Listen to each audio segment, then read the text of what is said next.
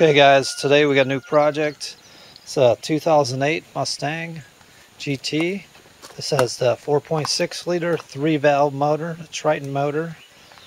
And what we're going to be doing today is changing spark plugs. So on this motor, is the spark plugs are right behind these coil packs. So there's a coil pack on each cylinder. You have to take those off.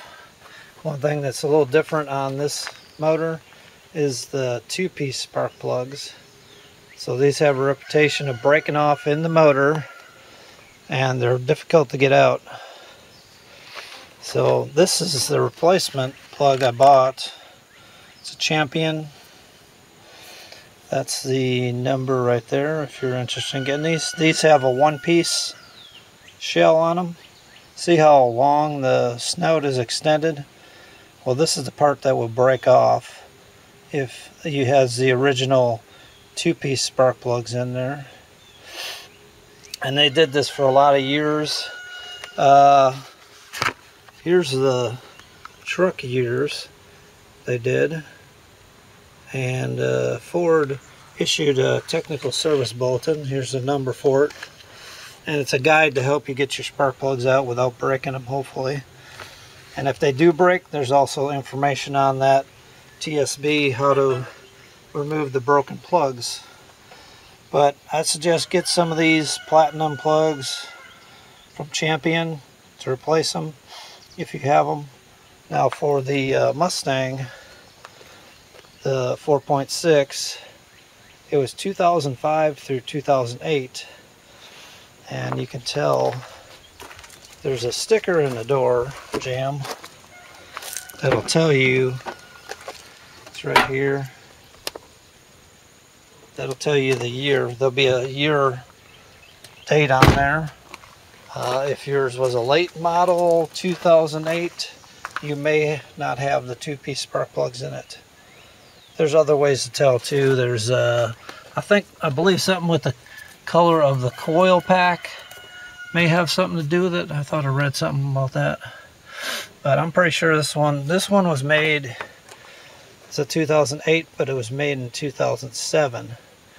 Late, so it's early model, one of the early ones. And I'd say it definitely has a two-piece one in there. It has about 140,000 miles on it.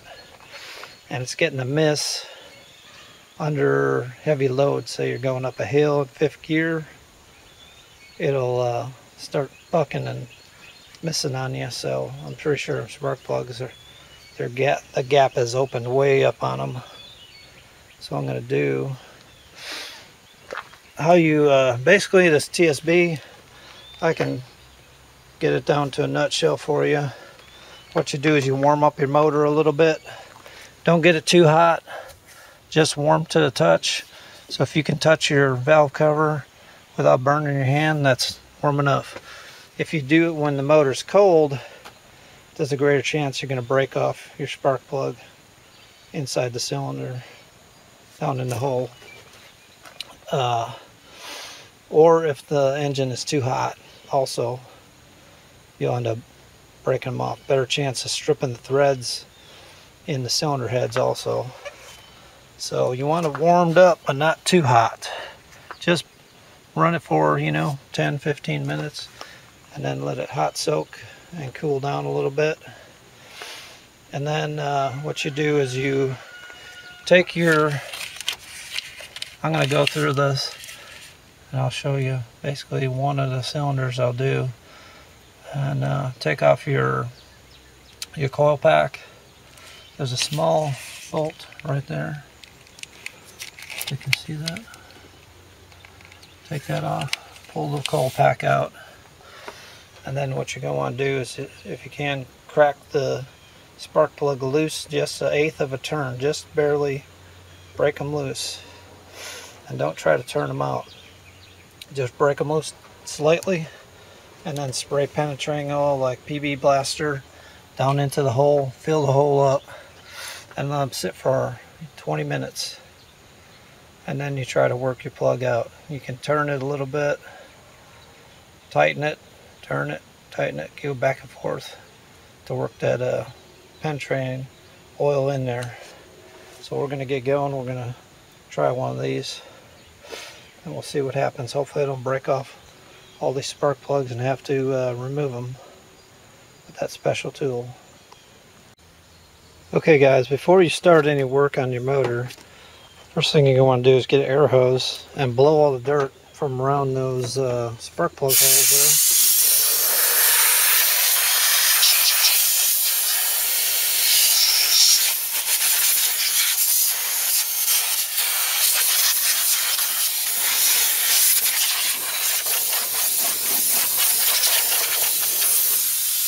All right. And then next, what you're going to want to do is there's a, a small bolt like this holding the coil packs on. Well, first pull your coil pack wires off. I should give you a close up here.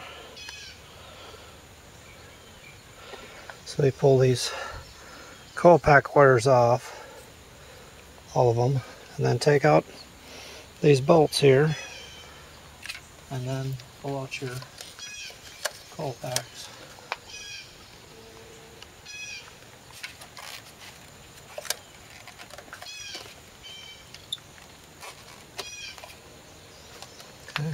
There's your coil pack. And this is the little bolt that holds them on. I'm going to keep those in my pocket. Thing I'm going to do is I'm going to blow down in the hole with some more air just to make sure all the dirt has been out of there. Close-up view, what that looks like here. So here's the spark plug holes. You can see a spark plug down in the hole there. There's quite a bit of dirt around the rim here of those inserts. So, okay, so I'm getting ready to back them spark plugs out a little bit. So I'm going to do is just crack them loose not even eighth of a turn, just break them loose. And I'm going to spray PB Blaster down in the holes and let that soak. So wish me luck here.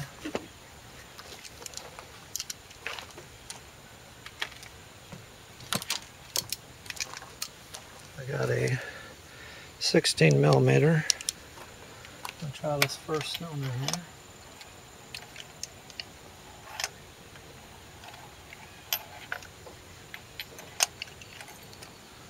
the uh, factory plugs or whatever plug is in there is a little smaller hex on it.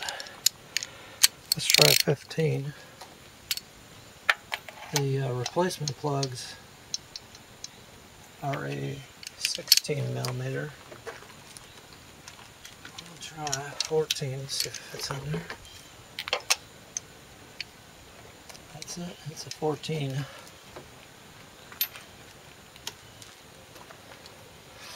So I'm not sure what plugs in there. Okay, it, it loosened just a tiny bit. There's a lot of resistance. I Made a lot of resistance. I'm really turning on them. If you go by that technical service bulletin, it says not more than 33 foot-pounds. So you could take a foot-pound wrench and put it on there. Now, I notice it'll turn like that much. Hopefully that's in frame. But I'm noticing I can turn the wrench about that much. And then there's a bunch of resistance. So they're breaking loose, but then there's a lot of resistance after that. So this may have the original plugs in it still.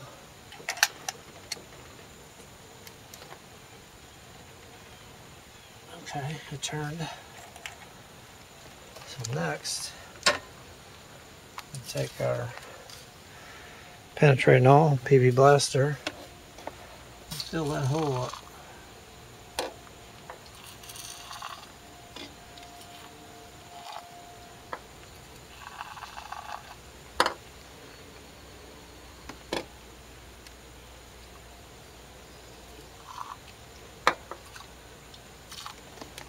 What I say to do is fill it to the hex on the spark plug. So if it's spark plug sitting in there, you want to fill with penetrating all up to here. And you want to be careful not to get too much in there. You might hydrolock your motor. But just that much from there to there. Just enough to cover it. Hopefully that will soak in on those threads. We'll come back in about 20 minutes. We'll try to work one loose. I'll show you what that looks like inside the cylinder or down inside the uh, the hole where the spark plug sit. Zoom in on one of these.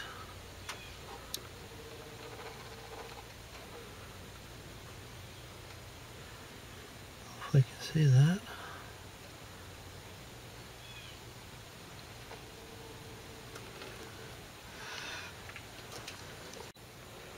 Okay, well that one, this side is soaking here. I'm going to go on to the other side and start taking all the coil packs off of that side.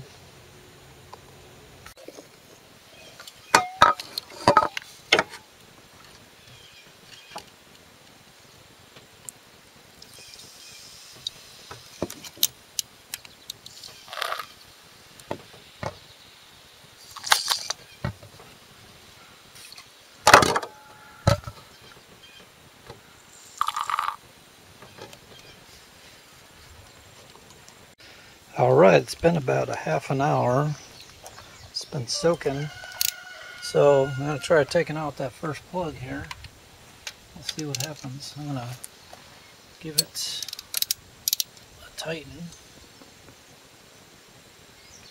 But you don't want to tighten hardly at all.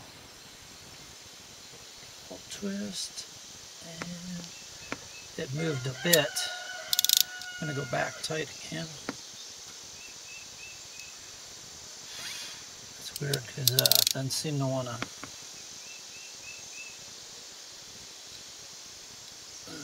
those plugs are in there. I have a feeling they're going to break off.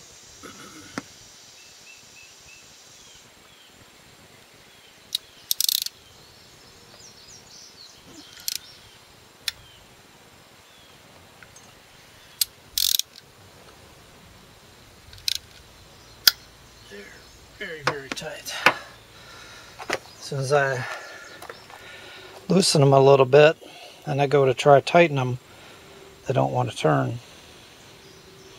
So I'd say these are probably the original plugs. So I'm just going to probably work them a little bit and then let them sit some more. Looks like the penetrating lube is still in the cylinder, in the uh, spark plug holes. I'm just going to kind of work them, each one of them a little bit. Just back and forth a little. Hmm. Yeah, they loosen a tiny bit, and then when you go to try to retighten them, they don't budge.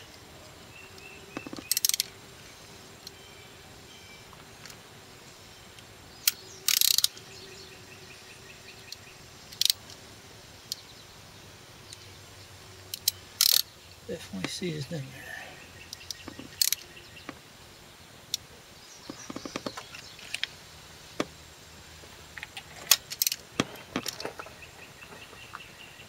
That one, that one turned a little bit. See it, I don't want to go any tighter though. I can loosen that. Tiny bit.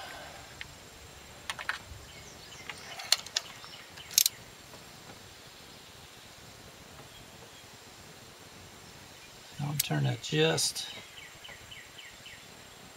not even quarter of a turn, just the tiniest bit.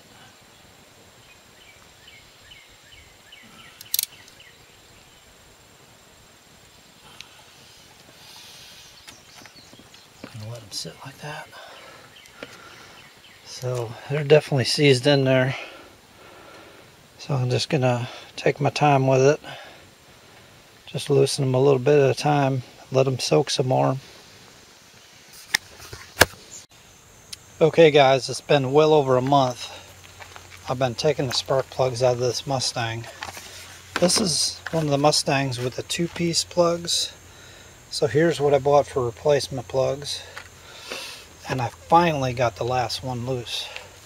This one, I soaked them all with PB Blaster, as I showed earlier in the video. This was the last one. Passenger side, one very back. That one was stuck. So I let it sit for a week with PB Blaster in there. Finally, it's come loose. So give it plenty of time. Don't rush it, guys. You're going to end up breaking your spark plugs off. I mean, I, I took my time. I absolutely took my time.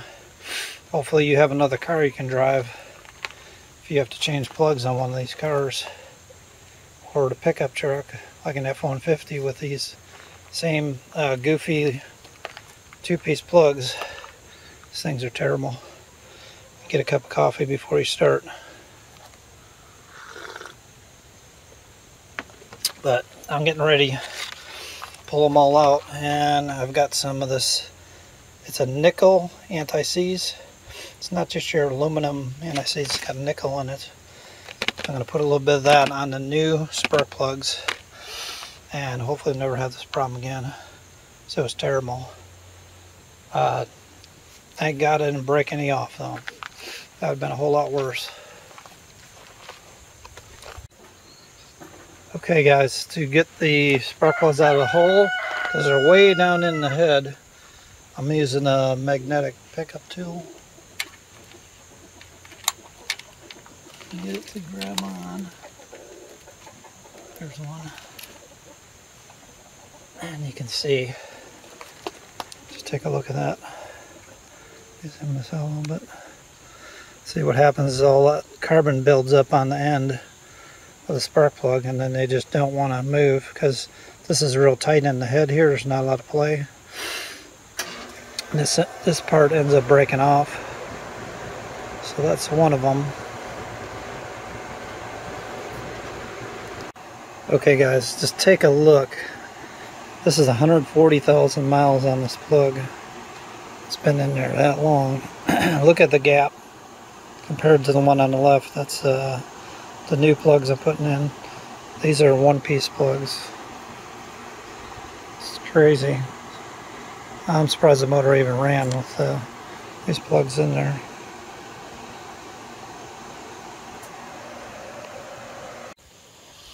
Okay, before I put the new plugs in, I'm just taking a little bit of this nickel anti-seize.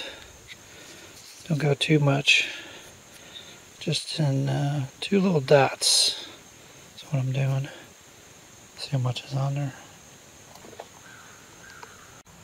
Okay, so I'm just taking the uh, new spark plugs I'm just dropping them down in the hole.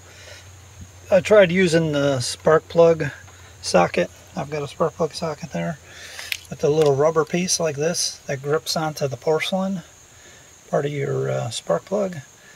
But every time I would uh, turn one in and pull the socket off the spark plug, the little rubber piece was uh, staying on the plug because it's a pretty tight fit. So the ground electrode is pretty thick on these. I don't think it'll bend it. I was afraid it would uh, bend that ground electrode and change the gap, but it's it's really thick. So I don't think that'd be a problem. Just uh, take them and put them in the hole. Drop them down in there. There you go guys. All eight plugs out without breaking them. Okay, I've got all the plugs, the new plugs put in their holes. Okay, next I got to put all the coils back in. And I'm going to put a little bit of anti-seize on these screws that hold the coils down too because they're going into aluminum.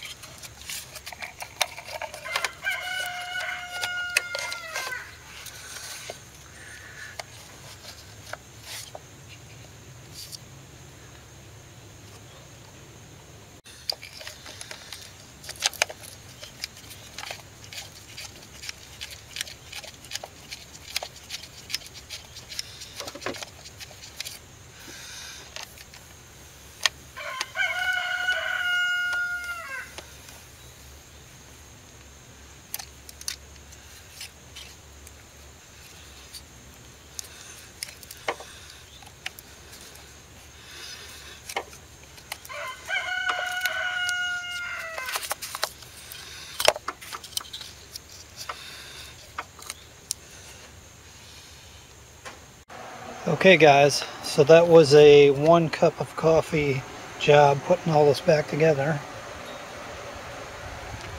Ah, yeah.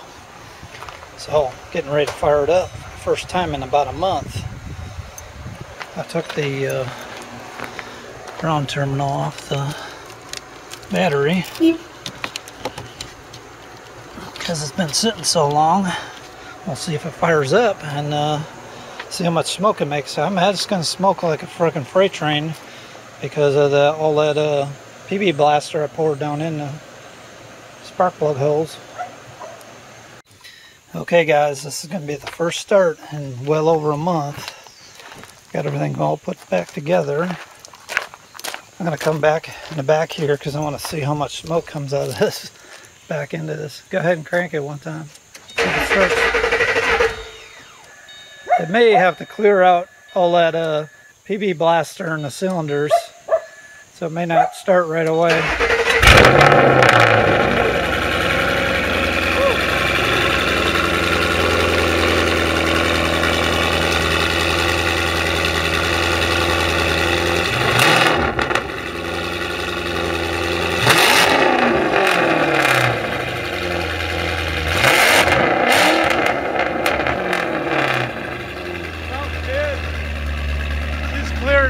Out of that thing, let me tell you. Sounds good.